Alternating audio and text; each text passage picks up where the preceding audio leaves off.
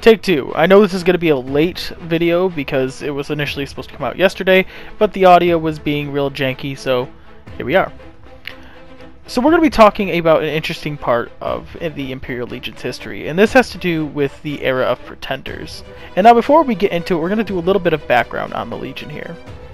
The Legion reformed under Reman I and quickly became one of the most dominant armies in Tamriel.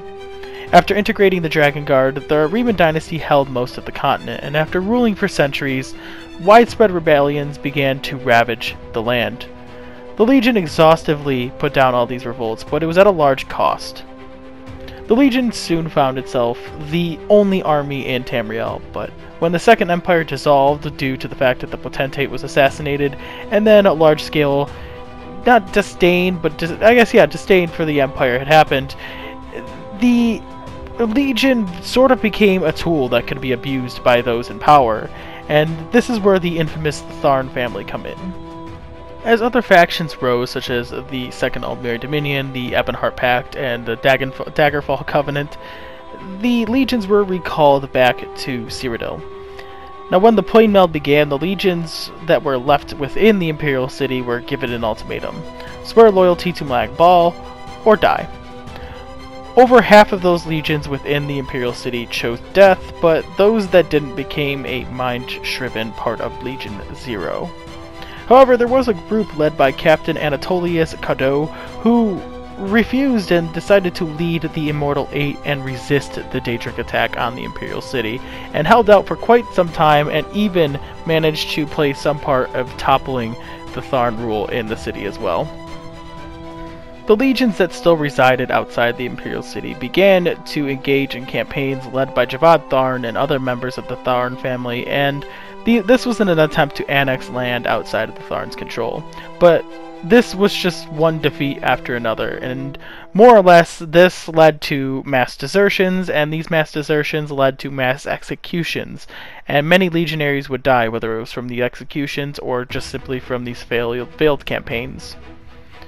Not much is known until really around 852 of the Second Era what happened to the Legion, but it more or less fell in a state of despair. By the time Talos was given command, the Legion was ill-equipped, poorly trained, and incredibly small, and what was left of it was more or less a Cyrodiilic, um, Cyrodiilic army than a Imperial Legion. However, this made all the difference when Talos stunned the world when he won his battle at Sancre Tor against a Nord Breton garrison, and essentially this led to Nords flocking to his banner, and the legion began to swell in number. Together, Talos and Cuhlecain would reform the Legion into a brand new army, one that would go on to conquer all of Tamriel and essentially become help become what was the Third Empire.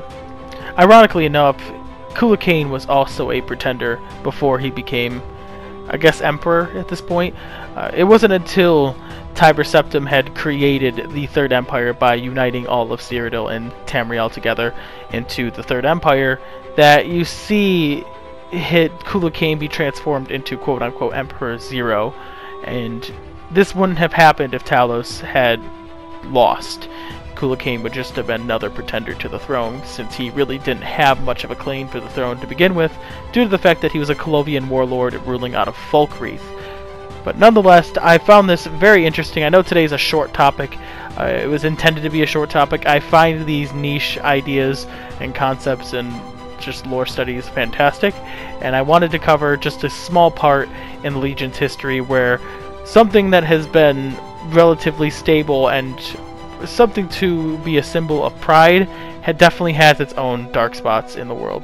And more or less, I might be covering more topics like this. If you guys like these niche niche little things, let me know in the comments below and then in the Discord chat as well. Hope to see you guys there. Link is in the description below. And then give this a like if you enjoyed this kind of stuff. And I hope to see you all in the next video. Peace. If you enjoyed, please like this video because it really lets me know you're enjoying this content. And if you're new to the channel, please consider subscribing. The links are right here for you to click on, and the Discord chat link is right here as well. And overall, I hope you all enjoyed, and I hope to see you in the next video. Peace.